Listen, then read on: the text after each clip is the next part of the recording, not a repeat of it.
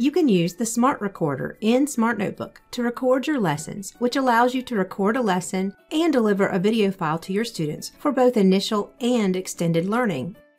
The Smart Recorder records audio as well. If you connect a microphone to your computer, you can record your voice. To start Smart Recorder, first open the system tray in the bottom right hand corner of your screen.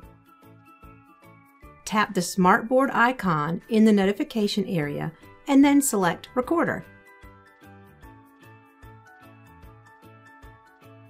You can hide the Smart Recorder, but continue to access its menu options using the Smart Recorder icon.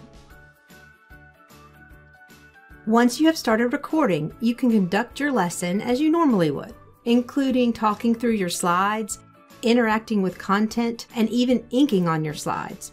When you are finished, click the Stop button and save your recording just like you would any other file. Then you could post your video to your YouTube channel, your website, Google Drive, or your LMS for students to access. Smart Recorder is a great tool to provide lesson content for students who are absent, to support substitute teachers, and for distance learning.